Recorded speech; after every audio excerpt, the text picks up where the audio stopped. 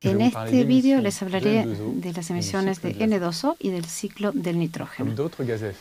Como otros gases de efecto invernadero, la concentración del protóxido de nitrógeno, que también se llama óxido nitroso, o sea, N2O, ha aumentado considerablemente en la atmósfera desde los últimos 150 años debido a la actividad humana. Se estima que la concentración de N2O ha aumentado, pasando de 270 partículas cada mil millones en 1850 a más de 320 partes por mil millones hoy. Eh, las concentraciones son mil veces inferiores a las observadas en el caso del CO2. Sin embargo, debido a su alto poder de recalentamiento global, la contribución del N2O al efecto invernadero es significativa. Así pues, se estima que el N2O ha contribuido en un 8% al efecto invernadero adicional desde 1850.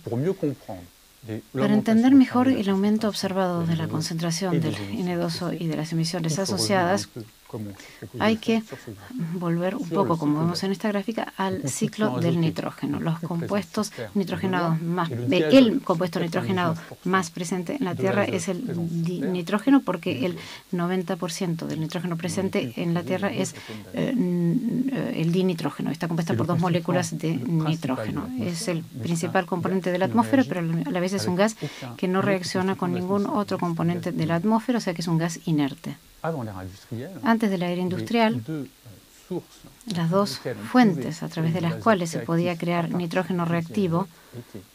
a partir del dinitrógeno eran, en primer lugar, aquella que está asociada a los relámpagos a través del efecto de alta temperatura que crea formas como la de N2 o el NO2 a partir del nitrógeno de la atmósfera y de, manera más marcada aún hay una segunda fuente que es la que está asociada a la fijación biológica del nitrógeno. La fijación biológica se hace mediante bacterias en el océano, como las cianobacterias, y en la Tierra, de los, eh, en Tierra es el caso de los rizobiomas que viven en simbiosis con el sistema radicular de las plantas leguminosas. En el ciclo del nitrógeno vemos que la flecha gruesa que va de la Tierra a la atmósfera es la desnitrificación, que es un proceso esencial en el ciclo del nitrógeno porque es el único que permite eh, volver a partir de nitrógeno reactivo a la forma inerte, N2. Por lo tanto, desempeña un papel clave en el ciclo del nitrógeno porque permite eh, terminar, completar el ciclo del eh, nitrógeno en la biosfera. Desde hace más de un siglo, estas dos fuentes históricas de nitrógeno eh, en realidad no son las únicas, se han añadido otras dos. Primero, las derivadas de la combustión de energía fósil en, en el marco de los procedimientos y procesos industriales y otra fuente que tiene que ver con el despliegue del procedimiento Haber-Bosch que produce eh, fertilizantes agrícolas nitrogenados. El procedimiento Haber-Bosch, eh, inventado a principios del siglo XX, es esencial porque buena parte del auge de la agricultura moderna se basa en la invención y el desarrollo de este procedimiento. Obviamente, estas nuevas fuentes de eh, nitrógeno reactivo han modificado profundamente el ciclo de nitrógeno. Se estima pues hoy, como lo vemos en esta gráfica, que la fuente anual de nitrógeno activo ha aumentado en 150-200 teragramos de nitrógeno por año desde 1850 y las fuentes de origen antrópico son hoy en día tan importantes como las fuentes naturales con unos 120 teragramos de nitrógeno reactivo producido por año eh, por el procedimiento Harbour. O sea que es de lejos la fuente antrópica más importante, incluso antes de la fijación biológica derivada del cultivo de leguminosas y de la fuente derivada de la combustión de energías fósiles. La mayor parte del eh, nitrógeno reactivo, como ya hemos visto, servirá para fertilizar los cultivos. Sin embargo, habrá algunas fugas de eh, nitrógeno eh, reactivo en la atmósfera directamente a través de los campos o bien indirectamente una vez que el nitrógeno ha sido asimilado por los cultivos. Entonces, el y, todo lo que, digamos, y el futuro del nitrógeno en el ecosistema, en el medio ambiente. El, nitrógeno en su, circulación en el medio ambiente ah, cobra distintas formas que tendrán un impacto variable en los ecosistemas, eh, de la, salud y en el clima. Esto ha conllevado a introducir el concepto de cascada del nitrógeno que se define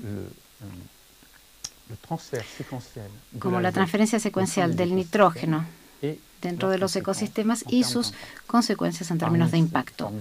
Entre las formas del eh, nitrógeno reactivo, como vemos en este esquema en amarillo, están el amoníaco, los nitratos y los óxidos de nitrógeno. El amoníaco se emite en las zonas agrícolas y se deposita seco húmedo en los ecosistemas naturales. Los nitratos eh, se pueden acumular en los ríos, en los ríos y contribuyen a la contaminación del agua. Y el último se emite en el atmósfero, contribuyendo al pico de concentración eh, que tiene riesgos para la concentración humana y la de los ecosistemas. Entre, el nitrógeno, entre los nitrógenos reactivos que se acumulan y se producen en el ecosistema está el protóxido de nitrógeno o el N2O. El N2O se produce en el medio ambiente bajo dos formas, la nitrificación y la desnitrificación.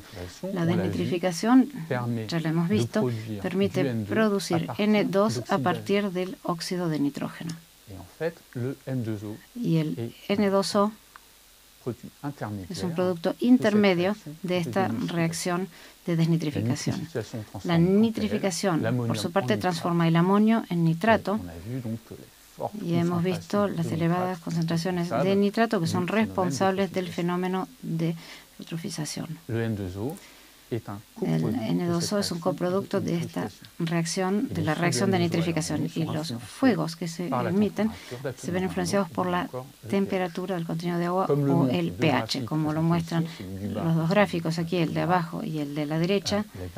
La variabilidad temporal del flujo del N2O y la variabilidad espacial son muy marcadas, con lo cual la medición directa de las emisiones de N2O en el campo es difícil y más aún extrapolarlo a gran escala. Las estimaciones directas del flujo de N2O están acompañadas de una relativa incertidumbre, una incertidumbre bastante marcada. Sin embargo, los inventarios más recientes estiman que el 75% de las emisiones de N2O provienen del sector agrícola y el 25% restante proviene de actividades derivadas del sector de la energía, el transporte o la industria. En total, las emisiones mundiales de N2O de origen antrópico se elevan a 7 teragramos de nitrógeno por año, o sea, el equivalente a más de 3 gigatoneladas de CO2 el aumento de la cantidad de nitrógeno reactivo en la atmósfera, en la atmósfera no solo tiene efectos de recalentamiento del clima, el, eh, o, el aumento del ozono troposférico, también hay efectos que pueden ser de enfriamiento. Entre esos efectos cabe mencionar el hecho de que la presencia de nitrógeno reactivo fertiliza involuntariamente los ecosistemas naturales y por lo tanto, hasta el día de hoy, ha mantenido o amplificado los pozos de CO2 en la biosfera terrestre, tal como los observamos hoy. La última simulación de los modelos de sistemas proyectan que las emisiones de CO2 se mantendrán eh, a lo largo del tiempo, las emisiones de este gas se mantendrán, pero no, estos modelos no incluyen el ciclo del nitrógeno.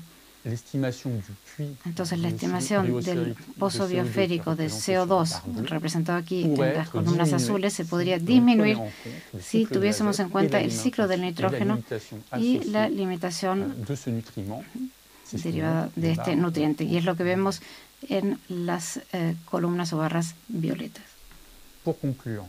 Para concluir, aun cuando la presencia de nitrógeno reactivo tenga efectos de enfriamiento del clima, los efectos nefastos de su acumulación en el medio ambiente nos instan a reflexionar en pistas para atenuar este fenómeno. Por ejemplo, podemos actuar en nuestra alimentación teniendo en mente que eh, el ganado bovino conlleva más emisiones de N2O porque se necesita más superficie para producir la alimentación del ganado y además, o los alimentos del ganado, y además por el hecho de que los bovinos producen más residuos, que es nitrógeno que alimentará la cascada del nitrógeno. Podríamos pensar también en acciones destinadas a replantear eh, la configuración del sector agrícola. Una fertilización más eh, razonable permitiría reducir la cantidad eh, de fertilizantes nitrogenados, limitando la fuga de estos en la atmósfera. La concentración de la actividad de ganado en la misma región hace que sea más difícil reciclar el nitrógeno. Esto se ve tanto a escala regional, por ejemplo, con la, la cría de ganado porcino en Bretaña, pero también a escala global. Vemos que hay soluciones para reducir el incremento del nitrógeno reactivo en los ecosistemas, pero estas pistas provocan una modificación individual y colectiva o exigen una modificación individual y colectiva de nuestra forma de comer y de producir alimentos.